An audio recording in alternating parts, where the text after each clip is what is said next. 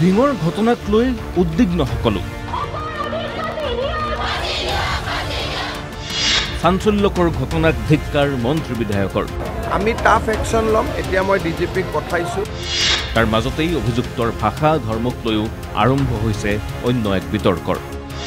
ধিঙৰ ধৰ্ষণ কাণ্ডক লৈ ৰাজনীতি।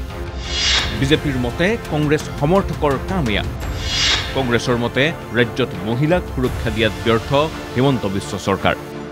ধিঙৰ ঘটনাৰ প্ৰতিক্ৰিয়া প্ৰকাশ কৰি বিধানসভাৰ বিৰোধী দলপতি দেৱব্ৰত শইকীয়াই ক'লে কেৱল ধিঙতেই নহয় সমগ্ৰ অসমতেই বৃদ্ধি পাইছে এনে ঘটনা।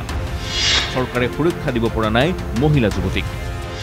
ধৰ্ম বিচাৰ নকৰাকৈ দোষীৰ বিৰুদ্ধে ব্যৱস্থা লোৱাৰ আহ্বান ধিঙৰ বিধায়ক আমিনুল ইছলামৰ। এজন পিতৃ হিচাপে ধিঙৰ ঘটনাৰ প্ৰতিবাদ ৰাজপথত কৰিবলৈও সাজু বুলি মন্তব্য প্ৰকাশ প্ৰাক্তন সাংসদ আব্দুল খালেকৰ। যোৱা সময়ছোৱাত এনেকুৱা ঘটনা বহুত ঘটি আছে। মুখ্যমন্ত্ৰী মহোদয় এটা সময়ত যেতিয়া হোজাইত অৰ্ণমাই বৰাৰ ঘটনা হৈছিল তেতিয়া যিখিনি কথা কৈছিল সেইখিনি কিন্তু আমি সময়মতে হৈ উঠা দেখা নাছিলোঁ। আৰু বিভিন্ন ধৰণৰ যিবিলাক ঘটনা ঘটি আছে এই ঘটনাবিলাক প্ৰকৃততে আৰক্ষীয়ে যেনেধৰণে এইবিলাক ক্ষেত্ৰত আগবাঢ়িব লাগে আগবাঢ়িব পৰা নাই বুলি মোৰ সন্দেহ হৈছে। পশু বুলি ক'ব লাগিব মানুহ নহয় মানুহৰ শাৰীত নপৰে যিসকলে এই অঘটনটো কৰিলে। অতি সোনকালে দোষীক কৰায়ত্ব কৰি কঠোৰৰ পৰা কঠোৰতম শাস্তি দিবলৈ আমি দাবী জনাইছোঁ। কোনো ধৰ্মৰ কথা বা কোনো সম্প্ৰদায়ৰ কথা ইয়াত আহিব নোৱাৰে যাতে সাম্প্ৰদায়িক এটা পৰিৱেশ বিনষ্ট নহয় তাৰ কাৰণে আমি সকলোৱে ঐক্যবদ্ধ হ'ব লাগিব। অকল গৰিহণা দিলেই শেষ হৈ নাযায়। যদি মই ঢিঙৰ বাসিন্দা হ'লোহেঁতেন বা নগাঁও জিলাৰ বাসিন্দা হ'লোহেঁতেন আজি গুৱাহাটীত যদি ঢিঙৰ ঘটনালৈ কোনো আন্দোলন হয় সেই আন্দোলনত অংশীদাৰ হ'বলৈ মই অকণো কুণ্ঠাবোধ নকৰোঁ। কাৰণ মই নিজেও এগৰাকী ছোৱালীৰ পিতৃ মই কন্যাৰ পিতৃ। যিকোনো কন্যাৰ পিতৃ যিকোনো ভগ্নীৰ ভাতৃ এই ধৰণৰ ঘটনাৰ বিৰুদ্ধে সৰব হোৱা উচিত। ধিঙৰ বৰ্বৰ ঘটনাক লৈ প্ৰতিক্ৰিয়া প্ৰকাশ কৰি বিজেপি বিধায়ক সুশান্ত বৰগোহাঁয়ে ক'লে কিছু ৰাজনৈতিক দলৰ সংখ্যালঘুক জোখতকৈ বেছি অগ্ৰাধিকাৰ দিয়াৰ তাৰণা প্ৰৱণতাৰ বাবেই হ'বলৈ ধৰিছে এনে ঘটনা। এই ধৰণৰ ঘটনাৰ সৈতে জড়িত লোকক সন্দেহজনক আখ্যা তেনে লোকক ৰাজনৈতিক সামাজিকভাৱে আঁতৰাই ৰখাৰ দাবী বিধায়কজনৰ। চাওক কিছু ৰাজনৈতিক দলৰ যিটো মাইনৰিটি এপিজমেণ্ট বুলি কোৱা হয় সংখ্যালঘুক জোখতকৈ বেছি অগ্ৰাধিকাৰ দি ৰাজনীতি কৰা যিটো তেওঁলোকৰ তাৰণা সেই তাৰণা আৰু ভাৱনাৰ কাৰণে আজি এনেধৰণৰ ঘটনা সংঘটিত হৈছে।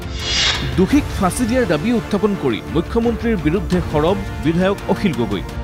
ঢিঙলৈ আহি চৰকাৰৰ বিৰুদ্ধে ক্ষোভ উজাৰিলে শৃংখল চলিহায়ো। দৃষ্টান্তমূলক শাস্তি মানে হ'ল তেওঁলোকক হয় ফাঁচি দিয়াৰ ব্যৱস্থা কৰিব লাগে নহ'লে তেওঁলোকক যাৱজ্জীৱন কাৰাদণ্ড যাৱজ্জীৱন কাৰাদণ্ড মানে চৈধ্য বছৰ কাৰাদণ্ড নহয় মৃত্যু নোহোৱা পৰ্যন্ত জেইলতে মৰা মৰা অৱস্থা। তিনিটা গুলিয়ে তিনিটা নৰধামলৈ হ'বনে নহয়?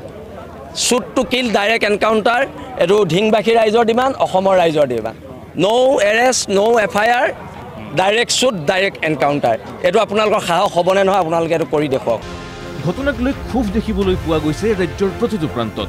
ৰাজ্যৰ চুকে কোণে ধৰ্ষণকাৰীক কঠোৰ শাস্তি প্ৰদান কৰাৰ দাবীত ওলাই আহিছে ৰাইজ। ফাষ্ট ট্ৰেক আদালতত বিচাৰ চলাই দোষীক শাস্তি প্ৰদানৰ দাবী উত্থাপন কৰিলে এ বি এম চিৰ সভাপতি টাইছন হুছেইনে শনিবাৰে সমগ্ৰ বি টি আৰতেই ঢিঙৰ ঘটনাৰ বিৰুদ্ধে প্ৰতিবাদ কৰিব সংগঠনটোৱে। অপৰাধীক জাতি ধৰ্মৰ নামত ভাগ কৰাৰ বিপৰীতে কঠোৰ হাতেৰে দমন কৰাৰ দাবী আমচুৰ সভাপতি ৰেজাউল কৰিম চৰকাৰৰ। নিশাই নৃশংস ঘটনাৰ খবৰ বিয়পি পৰাত ক্ষোভিত জনতা।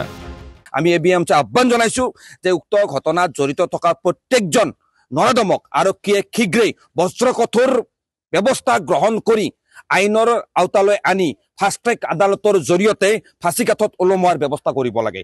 আমচুৱে স্পষ্টকৈ অসমৰ মুখ্যমন্ত্ৰীক বিনম্ৰতাৰে আহ্বান জনাইছোঁ যে আচলতে অপৰাধীক অপৰাধীক অপৰাধীক দৃষ্টিৰে চাই কঠোৰৰ পৰা কঠোৰতম শাস্তি দিয়াৰ ব্যৱস্থা গ্ৰহণ নকৰিলে এনেকুৱা ধৰণৰ অপৰাধ প্ৰৱণতাবিলাক কৰি হৈয়ে থাকিব। এটা অতি জঘন্য ঘটনা ঘটি গ'ল। সেই ঘটনাৰ বিৰুদ্ধে ৰাজ্যজুৰি আৰম্ভ হৈছে প্ৰতিবাদ। গুৱাহাটীৰ ৰাজীৱ ভৱনত প্ৰতিবাদত বহিল মহিলা কংগ্ৰেছ। ৰাজ্যত মহিলাক সুৰক্ষা দিয়াত ব্যৰ্থ হিমন্ত বিশ্ব চৰকাৰ। এনেদৰেই এতিয়া ধিংকাণ্ডৰ বিৰুদ্ধে ৰাজ্যজুৰি হৈছে প্ৰতিবাদ। সকলোৱেই একেমুখে উক্ত কাণ্ডক গৰিহণা দি ধৰ্ষণকাৰীৰ দৃষ্টান্তমূলক শাস্তিৰ দাবী কৰিছে। ধিংকাণ্ডক লৈ প্ৰতিক্ৰিয়া আলফা স্বাধীনৰো। ঘটনাক তীব্ৰ গৰিহণা দিছে আলফা স্বাধীনে। দোষীক কঠোৰ শাস্তি প্ৰদানৰ দাবী উত্থাপন কৰিছে সংগঠনটোৱে। দোষীক অনতিবিলম্বে ফাঁচী কাঠত ওলোমোৱাৰ দাবী অন্যথা দোষীক ৰাইজৰ মাজত উলিয়াই দিবলৈ আহ্বান জনালে আলফা স্বাধীনে। Bureau' report N K TV plus.